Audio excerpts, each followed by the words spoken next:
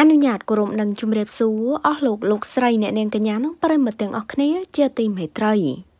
ខេត្តព្រៃវែងអ្នកជំងឺ Covid-19 ម្នាក់ធ្លាប់ចូលមន្ទីរពេទ្យមុនជូនម្ដាយទៅផ្ទះក្នុងខេត្តព្រៃវែងហើយពេលទៅដល់បានញ៉ាំបាយជុំគ្រួសារព្រមទាំងអ្នកជិតខាង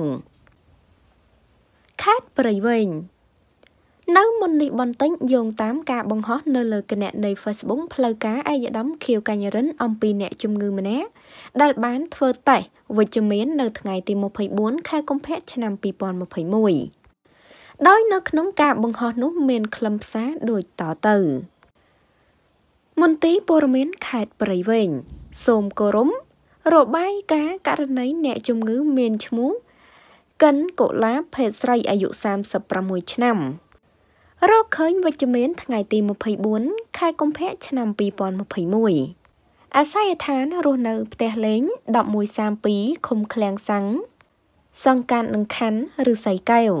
ក្រោយឃ្លាំងសាំងសូគីមិញចិត្តសកលវិទ្យាល័យការពារជាតិ សមាជិកក្នុងផ្ទះប្រហែល8នាក់កូនទី1អាយុ13ឆ្នាំរៀនថ្នាក់ទី8សាលា ABI បឹងសាឡាង កូនទី2អាយុ11ឆ្នាំរៀនថ្នាក់ទី6សាលាបឹងឈូក1ប្តីអ្នករត់ផាសអាំឈ្មោះស៊ីថាតអាយុ38ឆ្នាំប្រភពចម្លង ថ្ងៃទី19ទៅញ៉ាំការជាមួយមិត្តភ័ក្តិធ្វើការនៅ N8 អាការៈនៅថ្ងៃទី20 ស្ងួតកនិងគ្រុនក្តៅ37.5អង្សា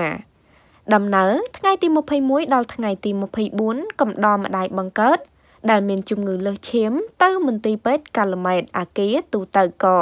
បន្ទប់202ថ្ងៃទី24បានជិះផាក់ស្អាប់ទៅផ្ទះនៅភូមិជំនិនឃុំកំពង់ពពិលស្រុកពេរាំងខេត្តព្រៃវែងជូនម្ដាយទៅផ្ទះនិងបានញ៉ាំបាយជុំគ្នាព្រមទាំងអ្នកជិតខាង សំគាល់ពេលញ៉ាំបាយមានក្មួយស្រីអាយុ1ខួប8ខែញ៉ាំបាយចានជាមួយបច្ចុប្បន្នអ្នកពាក់ព័ន្ធអាជ្ញាធរស្រុកពេរាំងនិងការិយាល័យសុខាភិបាលស្រុកនិងខេត្តស្រាវជ្រាវមកយកធ្វើជាតាលិស័កនៅខេត្តព្រៃវែងចានេះគឺជាករណី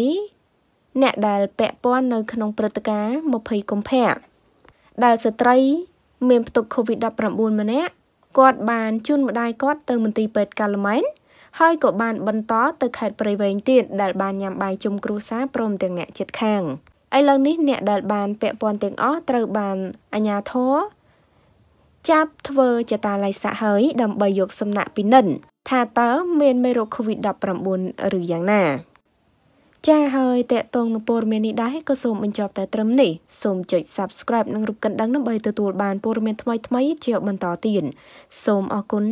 សូមគោរពលា